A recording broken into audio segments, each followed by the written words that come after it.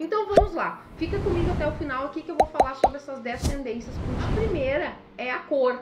Você sabe que a Pantone é uma empresa americana que ela dita as cores do ano e ela sempre tem aquela cor principal. E ela ditou como para o ano de 22, 23 a cor púrpura, que é aquela mistura de lavanda com lilás com azul.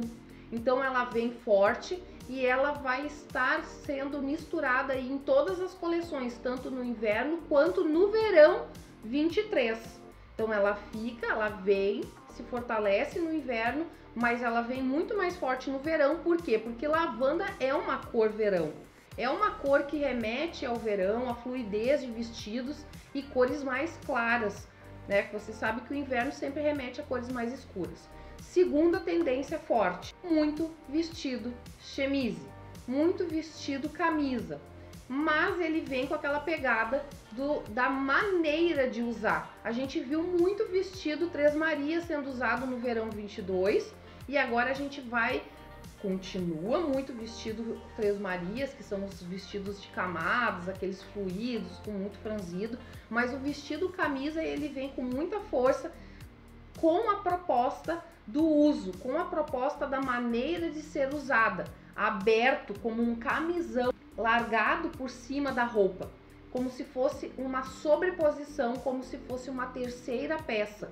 Ela sim entra agora aqui como uma tendência forte de terceira peça, por cima de cropped, por cima de tops, por cima de saias, porque ela vem com essa proposta então diferenciada, não com o vestido fechado. Claro que também se usa muito vestido fechado, ela vem também numa modelagem ampla, oversize. Eu vou mostrando as imagens para vocês, eu vou falando e vou mostrando as imagens para vocês entenderem um pouquinho mais sobre esses looks e verem visualmente como que vai ser usado o vestido dessa forma diferenciada. Terceira tendência de verão 23 é a mini saia. E aí também buscamos a segunda tendência, que é o do vestido camisa. A gente pode usar então com uma, uma mini saia, que é muito uh, curta, né? Ela vai estar tá bem curta e, e com cintura baixa também. Ela não vem na cintura alta, ela vem como mini mesmo. E para ti que não está acostumado a botar perna de fora nem barriga de fora e quiser usar essa tendência, tu vai poder usar então a segunda tendência, que é o camisão como terceira peça por cima, para não ficar tão aparente, tão exposta aí com a pele. Quarta tendência forte, o color block. Ele vai fazendo uma transição do inverno 2022 para o verão 2023. Ele continua muita cor, verão é cor e ele vai continuar o, as triangulações de cores, aquelas combinações de laranja com azul, de laranja com verde, essas tendências, essa tendência forte de color block, de muita cor, ela vem forte. Claro que ela vai diminuir um pouquinho mais pro final do verão 2023, ela vai uh, se dissolvendo e vai se transformar um pouquinho mais à frente em outra coisa, mas isso é vídeo mais à frente, não vamos ser tão antecipadas assim. Vamos então para a quinta dica, modelagens amplas, oversize, elas continuam muito forte, tá? Um camisetão, um vestidão, vestido em trapézio, vestido amplo, vestido quadrado, as camisetonas, as t-shirts, os croppeds amplos, tá? Essa, essa tendência do amplo continua. Vamos para a sexta dica de verão 23, os florais. Sim, os florais miúdos, muitas flores. Verão, verão pede floral e o floral vem com força. Sétima dica, sétima tendência, o total white. Tudo branco. Blazer branco, calça branca, igual essa fotinha aqui. São esses looks. Eu trago para vocês alguns looks uh, uh, totalmente brancos, né? Às vezes a gente pensa, ah, mas vai engordar. Mas essa, essa maneira de usar, como eu tô trazendo aqui nessas imagens, ela, ela fica legal, ela fica bacana, ela fica fashion, ela fica moderna. Oitava tendência forte, listrado. Sim, listrado tinha caído fora, agora né, a gente não usou ele nesse verão, a gente não usou mais muito listrado porque ele estava cansado. Só que ele vem em vertical, como eu estou mostrando na imagem vertical, tá, gurias? Ele não vem na horizontal, é na vertical. Colocaram isso em desfiles, ele vem com força. É isso, é, é, essa dica é uma tendência mesmo, tá? Não sei se pega muito, porque hum, ao meu ponto de vista eu não gosto muito. Eu gosto da horizontal.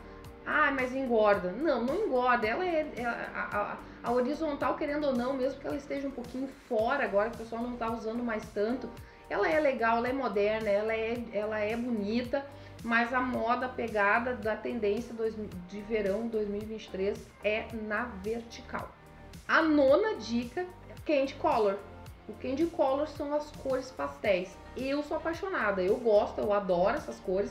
Eu sempre gostei muito de usar dentro das minhas coleções, eu acho chique, eu acho moderno.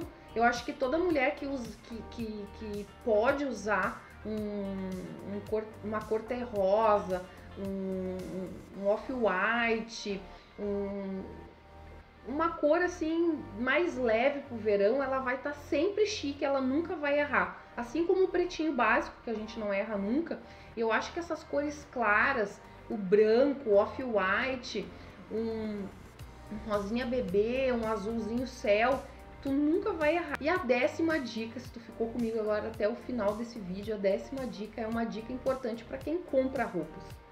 E para ti que está começando a tua marca, ou já, ou já tem a tua marca, uma das maiores tendências que ela vem ficando, que ela vem, que ela vem vindo, na verdade, ela vem vindo, ela vem se fortalecendo, são as marcas autorais. Não é em si a peça, não é em si uma peça que eu quero te falar nessa décima dica são as marcas autorais, são as marcas próprias, são as marcas menores, regionais, do, locais que estão se fortalecendo e a tendência é cada vez maior por causa do consumo, da, da consciência de consumo, menos consumo. E essas marcas, assim como a minha, a gente olha para nossa marca de uma outra forma, de uma outra maneira, para as nossas peças uh, com mais amor, com mais cuidado e a gente tem mais qualidade no nosso produto quando a gente trabalha com menos quantidade, quando a gente trabalha com uma moda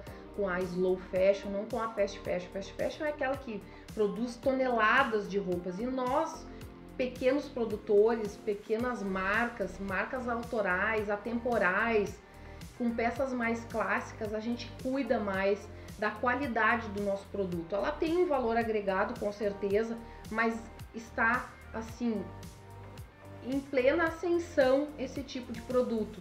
Se tu está começando a tua marca e tu está um pouquinho desanimado, porque não é fácil ter uma, um negócio próprio, pode ter certeza que essa é uma das maiores tendências, as marcas autorais. Se tu tem uma marca autoral ou tu gostaria de ter uma marca autoral, deixa aqui embaixo um comentário para mim que eu vou ficar bem feliz, tá? Eu espero que tu tenha gostado, que se tu ficou comigo até o final desse vídeo, que tu tenha gostado do vídeo. Se tu não te inscreveu, te inscreve no canal, deixa algum comentário, deixa um like, ative as notificações, assim que eu subir vídeo, tu vai receber aí no teu celular, no teu computador, uma mensagem dizendo que eu enviei um vídeo novo e aí tu fica por dentro aí dos assuntos, todo o conteúdo de criação de uma marca própria, de vender roupas e um conteúdo aí atualizado que eu gosto de trazer aqui para dentro do canal. Obrigada por ter ficado comigo até aqui. Até o próximo vídeo.